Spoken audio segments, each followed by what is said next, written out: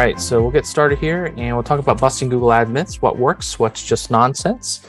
And uh, I know you'll get some good tidbits out of today. We'll dive into uh, some simplistic stuff, but then also some things that are you can also look at on your own there too. All right, and at the end, we'll announce our winner for our uh, contest here for our monthly uh, stat tracker contest. So we'll be sending that out to our winner. I'll announce that here uh, at the end.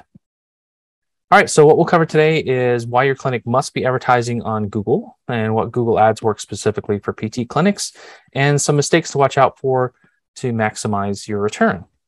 And then we'll give some examples from other practice promotions clients that we're helping with this. So let's talk first about some common myths here. And the first is, you know, I'm special Google Ads just weren't from my practice. We get that from different clinics that they may have some specialties and let's say women's health, for example, or some other uh, type of uh, uh, programs that they have in the clinic, and they think that there's that it just won't work for them, but it does.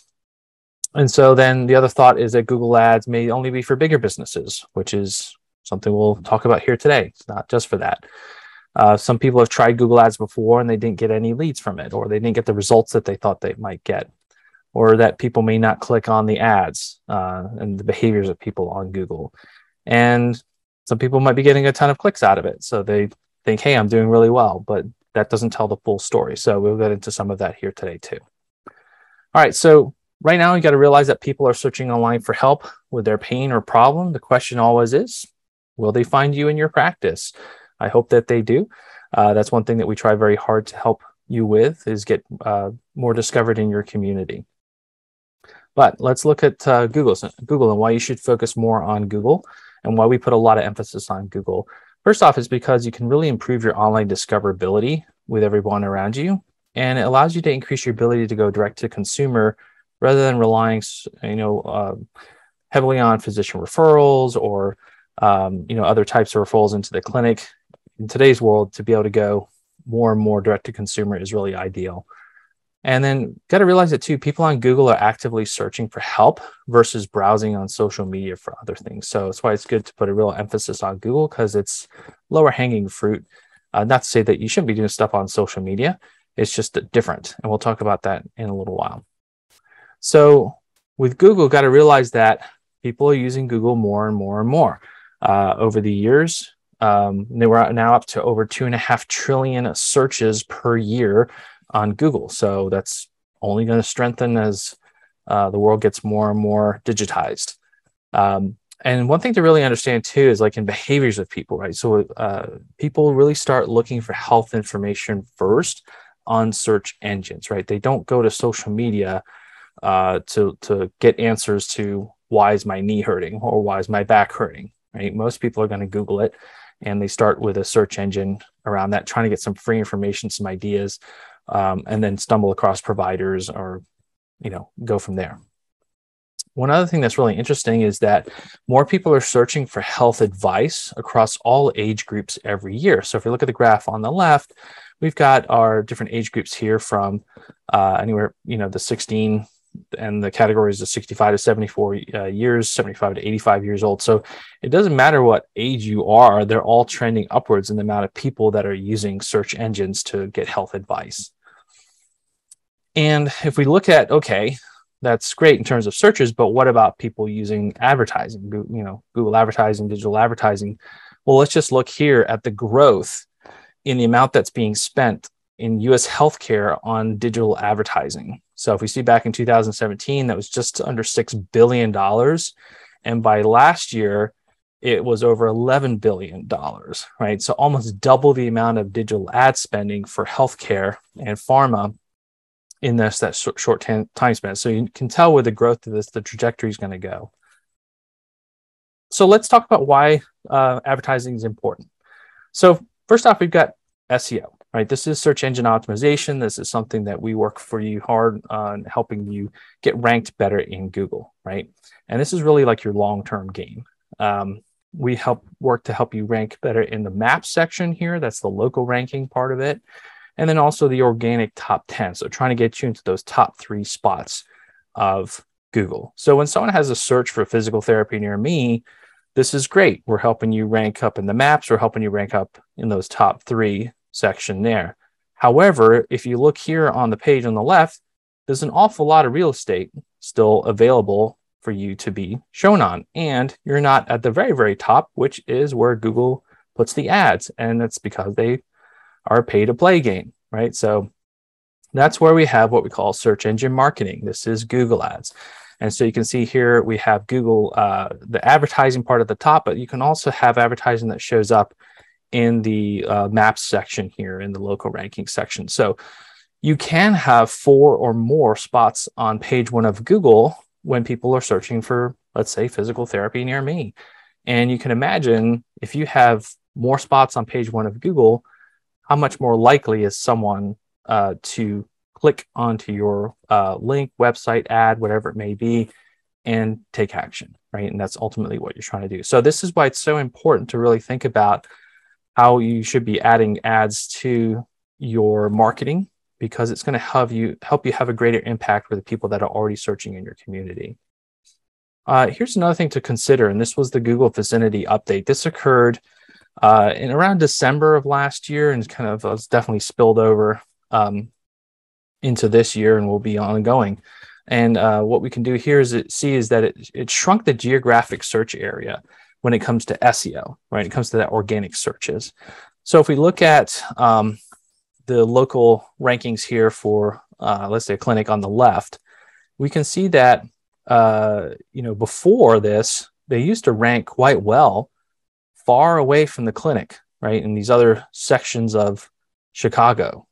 But after this change, what Google really did was they shrunk how far you would rank from your location, from your business location. And so this impacted all small businesses and uh, Google went really tight on their searches. So that's why they call it the vicinity update because it's the vicinity around the clinic. So basically, like a two to four mile range is is basically where you're ranking now in the you know top one to three spots here. So you can see the impact of uh, how you know it ranked well here, but now further away from the clinic, it ranks very poorly. And it's not a factor that it's doing bad on its website or it's bad SEO. It's just that Google shrank the search criteria. So now it is hard to rank for surrounding towns and areas and pull people in that you used to be able to pull from uh, before. So this goes to show you that in today's world, you just have to attract more patients online um, by advertising on Google. And here's the thing: sometimes people think that, you know, I'm a, I'm a smaller practice. Um, you know, I can't afford Google Ads. It's not for me. But Google Ads is really for everyone. And no matter if you're a startup or a multi location practice, uh, it's really critical to have this component in your practice.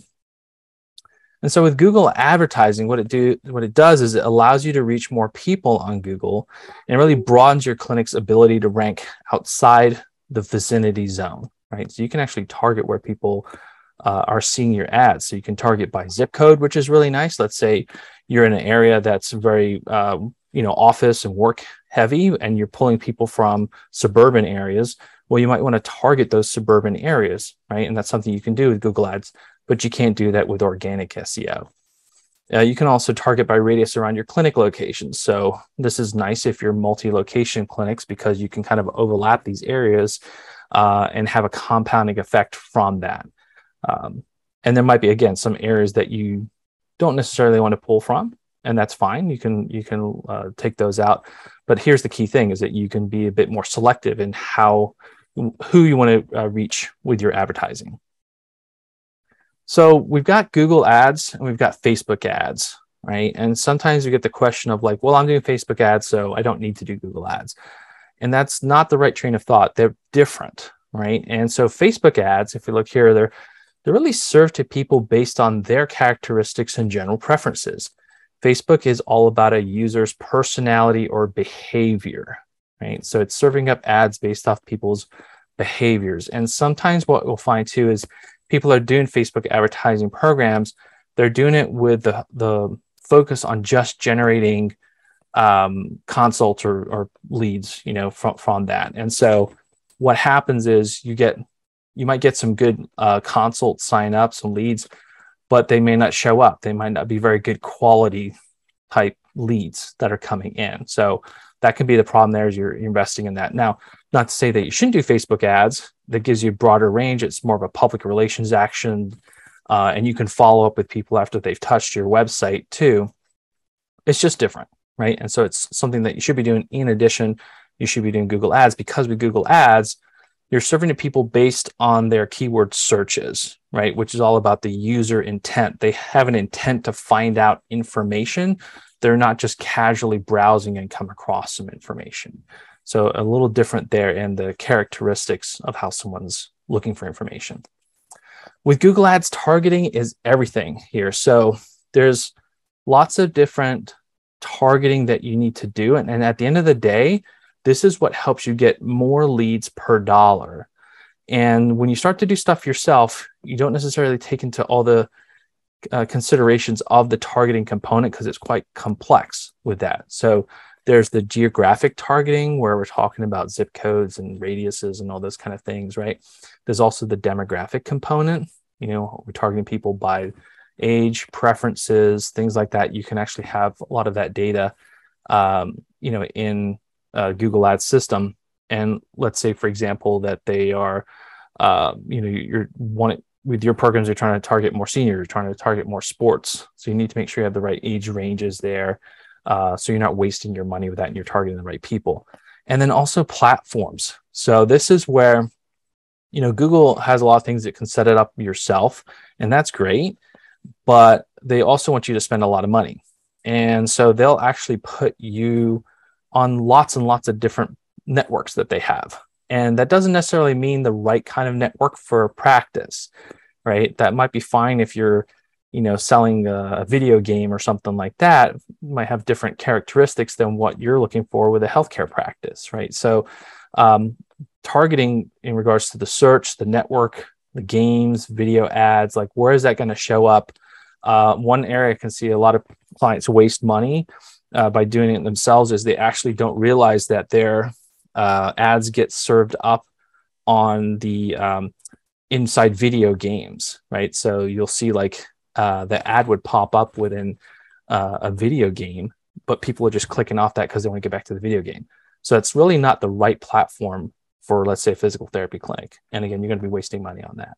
Also, the budgeting.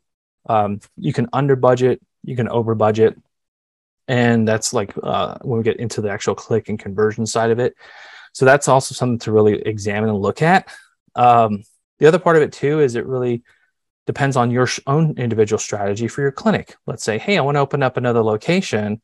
Well that's going to have a different kind of strategy and you need to make sure you have enough budget going towards that in order to accomplish your goals so that's why it's good to work um, you know with an expert there to to match your goals that you want to achieve with the right budget that you're going to need. And then just realize too that this is where clinics sometimes, um, you know, they're they're looking at their own budget, but they don't necessarily expand their marketing budget as their own revenue increases because marketing budget is really just a percentage of what you make. So like eight eight to ten percent is is where most healthcare practices are in their marketing budget.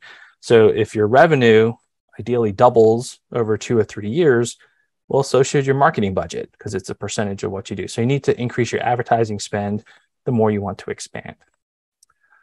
The thing too with Google Ads, it really allows for control here. So it gives you the ability to adapt and change as your practice marketing needs adjust too. So sometimes you need to throttle up, you need to throttle down, you need to be in a different area, you need to have a different program you're going to promote, whatever it may be there.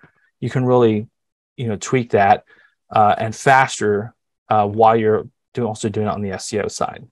But just realize that not, not every market is the same. Um, this can, you know, cost and performance is going to vary depend on where you're living, where your practice is, and so that could be very, you know, more costly in like an urban area versus different in a rural area, and you might have different language and different titles and different parameters that you're going to have depending on what part of the country you're in, as well as what like the environment is like. So with Google Ads here on the left, you can see we've got different ways you want to increase traffic, uh, pay only when someone clicks on your ads, track and measure ad performance, have control over your budget, and ultimately you want to generate a higher return on investment for what you're spending with ads. That's to say there really is no silver bullet with this. Okay, so um, the thing to realize when you're going into doing Google Ads is you need to play the short and long game, right? Ads kind of equate it to the short game, and it gives you uh, the ability to kind of fill the hole uh, and add to it uh, than just traditional SEO. So SEO is really much needed. So you can again command those spots on page one of Google, and then ad gets you up there faster, right? Um, and again, you can kind of tailor it to be in different uh, markets or different programs that you're advertising there too. But realize that it, you know just doing ads by itself is not the solution to everything. It does take a multi-pronged effort. The better your website converts, the better your ads will convert right? The more SEO you have, the better the ads will do. The better your ads do, the better your SEO does. So it's like this, uh, you know, circle of things that work together, and it's not just one thing or the other. So sometimes practice owners make the mistake of like, hey, I'm going to try to save money here. Let me cut out my advertising, and I'll just have my website. Well, then months later, they're not doing well with their new patients, and they wondered why. Well, they kind of took away all these multi layers and try to just go with one thing. And just realize too, ads are just one piece of your marketing machine. So when it comes to the actual ads themselves, let's look at some best practices here. So things that we do for clients is we really dial into, uh, you know, if they're a PT clinic, the physical therapy campaigns, and you're going to be working on different types of keywords here. So and search phrases, of course, popular ones like physical therapy near me, physical therapy in your specific town, and best physical therapy. It's great if these actually match up to um, search phrases you have within your website too. That gives a good quality score to your ads. Uh, what's also good to do is condition specific campaigns. Now, I would say putting about at least 60 to 70% of your budget towards your main categories like physical therapy, and then the other, you know, 30, 40% on condition specific campaigns. So having campaigns around back pain, shoulder pain, uh, rotator cuff, knee pain. The caveat here is that with these specific condition campaigns, you don't want to have a, a lot of them because it's going to spread your budget too thin. And um, you need to have enough chances at and enough money behind each one of those in order for it to be really effective. So uh, an error could be a mistake would be that you're trying to, you know, shove in lots of different conditions, lots of different ads, and then your budget spread too thin and you're not getting served up enough times for it to work properly. And then you don't see the results that you can. So you're better off just picking like two, maybe three different conditions you want to focus on, some core main ones like back pain and knee pain, for example, and and dial those in with the keywords that go underneath each one of those categories and the different ads that go underneath those categories. So one thing you should be working on, and that we work on a lot for our clients as part of the ongoing, um, you know, maintenance of the ads and improving them, are negative keywords. And so, realistically, what has to happen is Google has to learn how and when to serve up your ads. And initially, when this gets started, or whenever you make a, a, significant change, it takes about 30 days for Google's algorithm to relearn where and how to serve this up to get the best results for you. And it keeps going, right? It keeps learning as you go along. So sometimes you don't want to mess too much with the ads, and sometimes you need to mess with the ads, right? It just really depends on how the results are coming out. But realize that it just takes constant feedback, and you have to keep monitoring this. It's something that's you know it's a bit challenging to do if you're running your practice, right? You've got lots of stuff to do, treat patients, put out fires, handle staff, billing, you know, all these kind of things. Is this something that you really should be doing yourself, right? When it takes more feedback and understanding how the system works. And are you going to put all the time and effort into learning how that system works so that you can get the most out of it and your marketing budget? Here's some things to work on and that we work on again from a routine account management standpoint. So you know, daily you're checking ad status, you're checking are the extensions working okay? That does break from time to time, so it's something to be checking on there. And how are they performing? Uh, what stands out there? So those are things to check on weekly. Account optimization, any kind of recommendations there.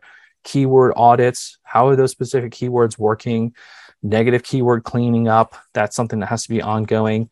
And then monitoring for benchmarks um, again, you're you're relying on Google's algorithm to serve things up at the right time in the right place, but it's a learning machine, and you have to keep giving it feedback to learn better from it.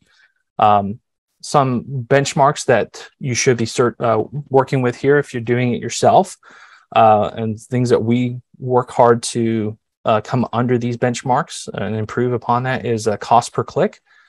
Uh, it should be less than $3.50 per click. Cost per conversion, we'll talk about conversions here in a second. That should definitely be less than $40. And then the click through rate should be greater than 3.5%. And the conversion rate should be greater than 4%. So the thing with understanding Google Ads is really understanding the tracking and reporting. That can give you a lot of information to make tweaks and changes. And that's against things that our um, Google Ads experts are constantly working with our clients on. Uh, so conversions is really where it's at, right? That's what we're looking for here. Conversions are really the actions you want someone to take from your advertising, right? So most of the time, I'd say about 60% or more of the conversions are actually going to be phone calls. And that's a great thing. So it's coming through to your front desk. Um, they might come directly from the ad itself and call there and what's called a call extension. Like you see, you know, up this is called a call extension. Um, and these are other call outs and other extensions down here where they'll go to specialty pages on your website.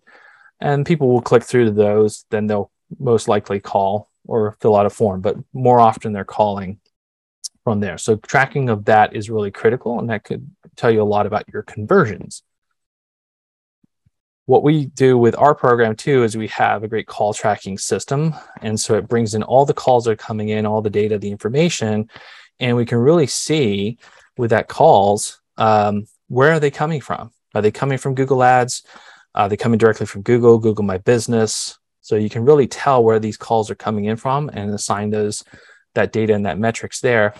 And what's great with the call tracking is that we can actually through the call tracking self-identify the person as a new returning current patient or you know a vendor uh, or other um, so you know press one if you're a new patient press two if you're a current patient press three if you're a returning patient that way you get that data in there too so you can actually say yes this was actually a new patient calling in uh, for the first time here, or they're a past patient calling back in, right? That's good to measure too. You want to be able to push those, those levers.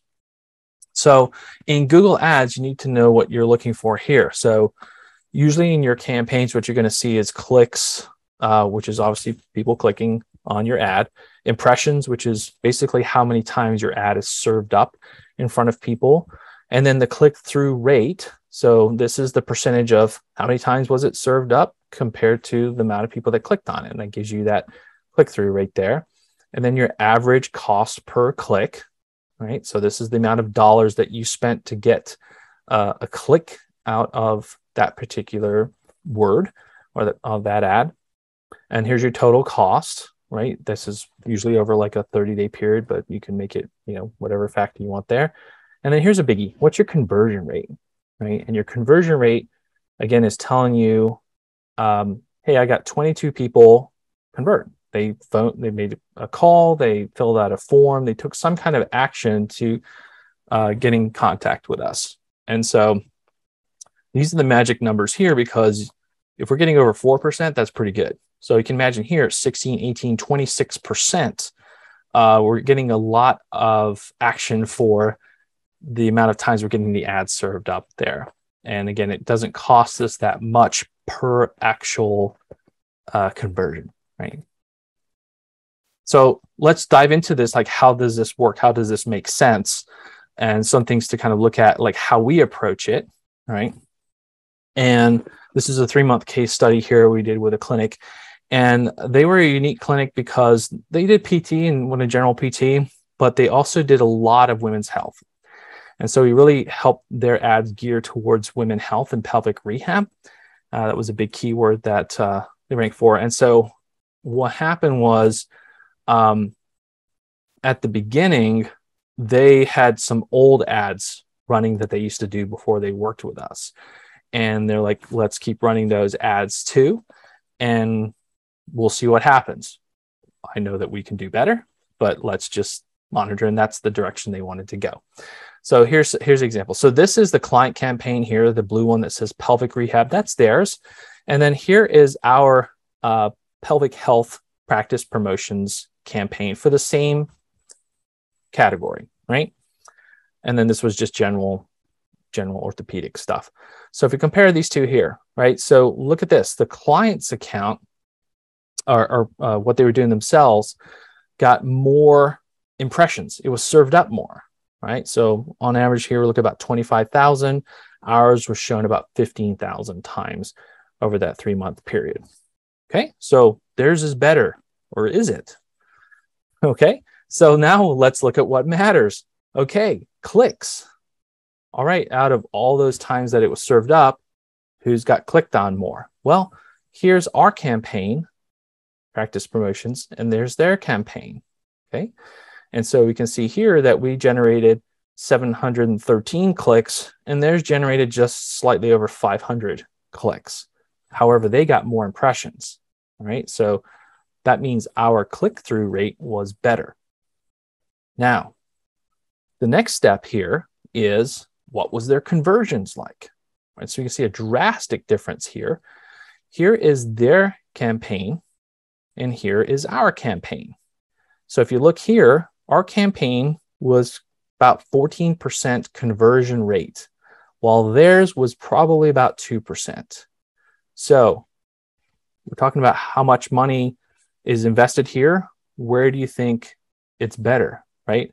We actually spent less, but got more people to call and fill out forms substantially, like six times more people actually take action from uh, the amount of clicks and impressions that, that were generated, right? So at the end of the day, it's not about how many people you can have this served up from, or even how many clicks you can have.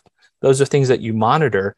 But at the end of the day, how many people actually take an action, right? That's what counts. We want to have good quality leads coming through. So we were able to get a substantially better conversion rate for this campaign than the client was able to do on their own. And uh, coming back here now, this is the actual cost per conversion. So how much money did they have to spend to get one person to call in or fill out a form or do something.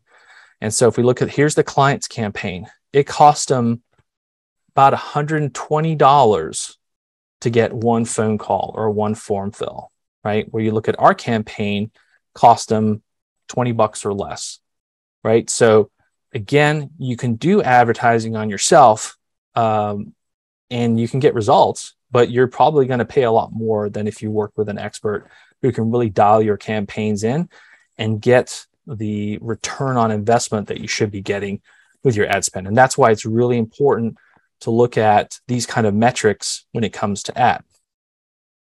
So here's the ultimate metric, and it's called ROAS, return on ad spend.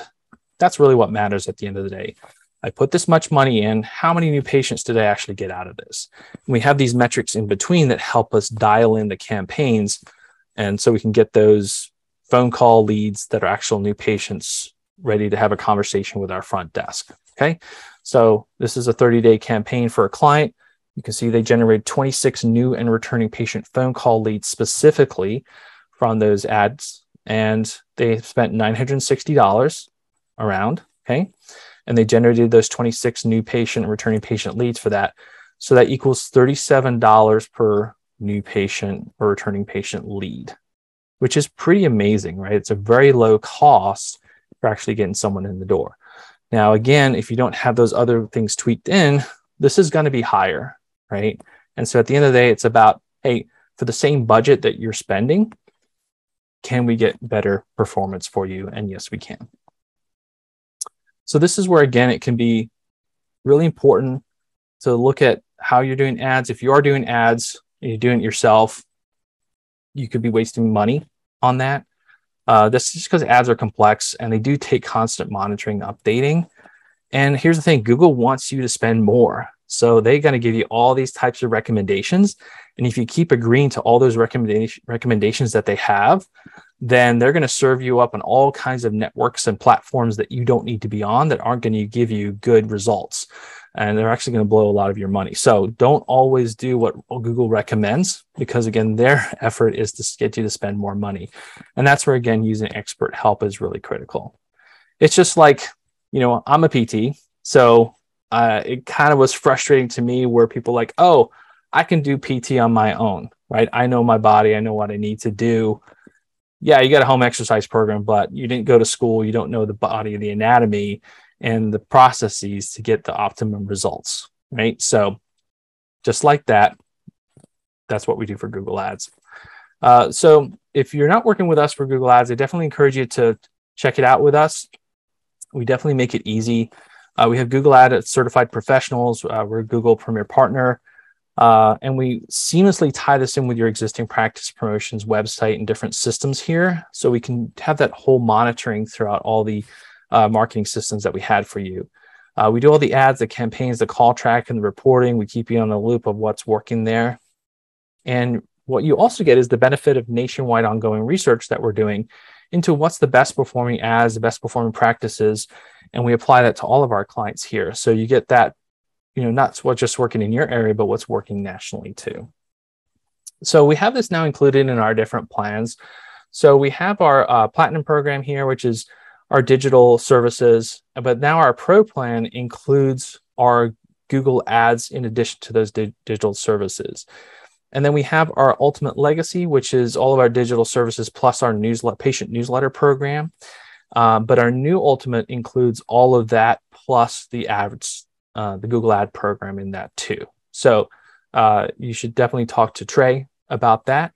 Uh, he can give you some more data about how those uh, new programs work. So, uh, you know, depending on your program, what you're in, if you need to talk about, hey, I want to rank better in Google, um, we need to have a conversation around, hey, how can I leverage Google Ads more to get new patients in the door?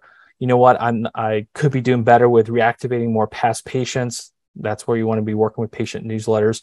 So you should definitely connect with Trey here. We're sending out his information, but you can just reach him at Trey at practice-promotions.com and he can schedule a demo with you and uh, talk to you about your current plans and what your goals are there uh, and match what would be the right fit for you uh, with what we have. But it's a great, uh, he's got a great demo there on how we actually run the Google ad program and the results that we're getting from different clients for that. All right, so before we announce our winner here, just love to uh, get any comments or questions. Feel free to uh, use the chat here or the Q&A. Um, I'm happy to answer any questions you may have around Google Ads. So what is the one way that you can get a conversion rate higher? Great question. Lots of different things. So there's not just one thing that gets a conversion rate higher. Uh, it could be the titles. It could be uh, the network, the platform that you're on there, the, the targeting. Um, it could be what's on the website, right? What page are you sending them to with that?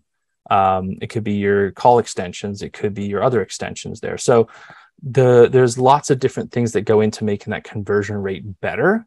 So you have to dig in and look at what are the behaviors of people are as they are interacting with your ads, and then you can tweak those nuances. So like I said before, there's no like silver bullet of what's the one thing that works here, you have to look at these different parameters. But uh, as I showed you before, those if you can look at those different, you know, what's my cost per click, what's my click through rate, um, what's happening on my website, what's my targeting look like, that's how you can get your conversion rate higher. All right, great. So let's announce here our winner for the monthly stat tracker, and uh, this is going to comprehensive physical therapy. So congratulations. Uh, you'll get a $100 Amazon gift card here sent to you. And thanks for filling out your monthly stat tracker. That's really helpful to you and to us also in seeing how many new patients and reactivated patients are coming into the practice. Then we can really analyze that to our metrics, and then we can give you a clearer picture in terms of how things are working, right? And we can work together uh, on increasing those new patients and reactivated patients so you can be more successful in your practice. So thank you very much, uh, Billy, for doing that. Um, and I want to thank you all for being on the webinar today. I hope that was very helpful to you. Got just some good ideas around Google Ads. Again, if you'd like to uh, connect and learn more, have a demo around what we do for Google Ads, uh, definitely connect with uh, Trey at practice-promotions.com, and we'll be happy to help you out and answer your questions with that. Right, so thanks everybody. Appreciate it, and uh, we'll talk to you soon.